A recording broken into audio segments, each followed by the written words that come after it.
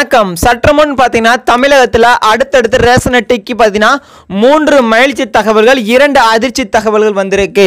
அது என்ன என்பது நீங்கள் உடனுக்குடன் தெரிந்து கொள்வதற்கு கீழே இருக்க ரெட் கலர் பட்டனை கிளிக் பண்ணி சப்ஸ்கிரைப் பண்ணி வச்சுக்கோங்க. அதை தொடர்ந்து பார்த்தீங்கன்னா தமிழகத்தில் அடுத்தடுத்து ரேஷன் அட்டைக்கு வழங்கப்படும் இலவச பொருட்கள் இலவச மானியம் இலவச ஊக்கத்தொகை குடும்ப தலைவிகளுக்கு மாதம் மாதம் ஆயிரம் ரூபாய் உதவித்தொகை. இதை எல்லாத்தையும் நீங்கள் உடனுக்குடன் தெரிந்து கொள்ளவும் கீழே இருக்க ரெட் கலர் பட்டனை கிளிக் பண்ணி சப்ஸ்கிரைப் பண்ணி வச்சுக்கோங்க. இப்போ வாங்க வீடியோக்குள்ளே போகலாம்.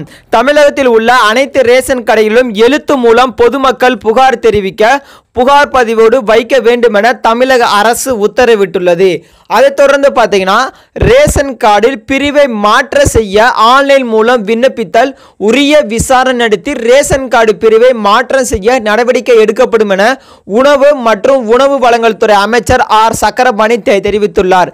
திமுக ஆட்சிக்கு வந்தால் குடும்ப தலைவர்களுக்கு மாதம் ஆயிரம் ரூபாய் உதவித்தொகை வழங்கப்படும் என்று தேர்தல் அறிவிக்கையில் தெரிவிக்கப்பட்டிருந்தது. அதன்படி பார்த்தீங்கன்னா திமுக வெற்றி பெற்று விட்டது அதை தொடர்ந்து பார்த்தீங்கன்னா ரேஷன் கார்டில் நிறைய பேர் பார்த்தீங்கன்னா பிரிவை மாற்றம் செய்து வந்துட்டு இருக்கனர் அப்படி நீங்கள் பிரிவை மாற்றம் செய்தால் உங்களுக்கு பார்த்தீங்கன்னா விசாரணை நடத்தி தான் உங்களுக்கு பார்த்தீங்கன்னா அந்த பிரிவை மாற்றம் செய்யப்படும் என்று உணவு அமைச்சர் தெரிவித்துள்ளார்.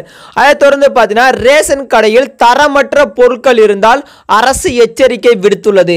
அதாவது தமிழகத்தில் குறிப்பிட்ட சதவீதம் பேர் ரேஷன் கடைகளில் பொருட்களில் கிடைக்கும் அரிசி கோதுமை பருப்பு பாமல் சக்கை ஆகியவற்றை வைத்து பிழைப்பு நடத்தி வருகின்றனர். அதே நேரம் பல நேரங்களில் ரேஷன் கடையில் விநியோகிக்கப்படும் பொருட்கள் தரமற்று இருப்பதாக பொதுமக்கள் கூறப்பட்டு வருகிறது.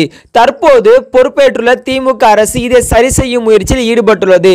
இதை தொடர்ந்து பார்த்தீங்கன்னா ரேஷன் கடையில் தரமற்ற பொருட்கள் விற்பனை செய்யப்பட்டுள்ளார்.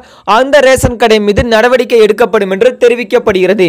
அதை தொடர்ந்து பார்த்தீங்கன்னா தமிழகத்தில் யாராக இருந்தாலும் ரேஷன் கார்டுக்கு நீங்கள் விண்ணப்பித்தீர்கள் என்றால் உங்களுக்கு பார்த்தீங்கன்னா பதினஞ்சே நாட்களில் புதிய ரேஷன் கார்டு வந்துவிடும்.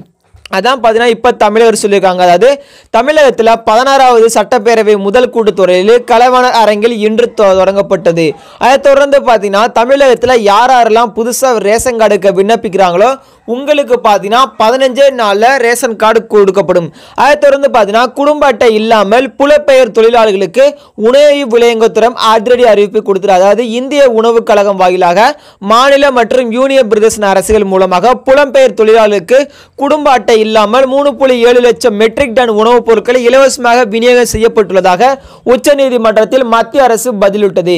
இதே மாதிரி ரேஷன் அட்டைக்குரிய அனைத்து தகவல்களையும் நீங்கள் உடனுக்குடன் தெரிந்து கொள்வதற்கு கீழே இருக்க ரெட் கலர் பட்டனை கிளிக் பண்ணி சப்ஸ்கிரைப் பண்ணுங்கள் அனைவருக்கும் நன்றி வணக்கம்.